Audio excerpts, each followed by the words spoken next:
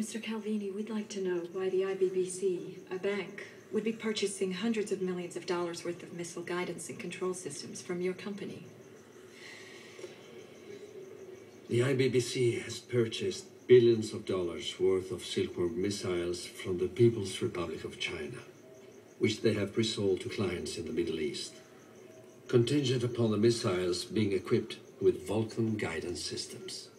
My company is one of only two in the world which produced the Vulcan. Who's the other? Sunay.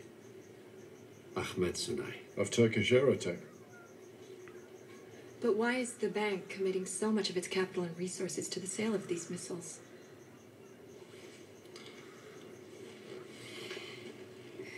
It's a test.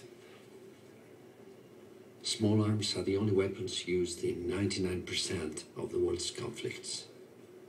And no one has the capacity to manufacture them faster and cheaper than China.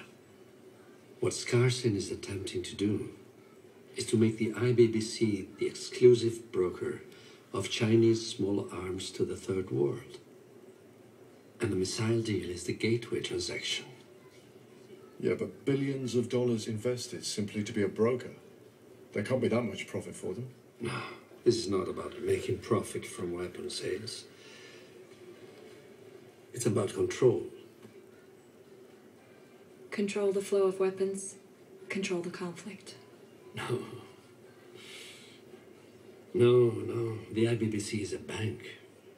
Their objective isn't to control the conflict, it's to control the debt that the conflict produces. You see, the real value of a conflict, the true value, is in the debt that it creates. You control the debt, you control everything. You find this upsetting, yes? But this is the very essence of the banking industry. To make us all, whether we be nations or individuals, slaves to debt.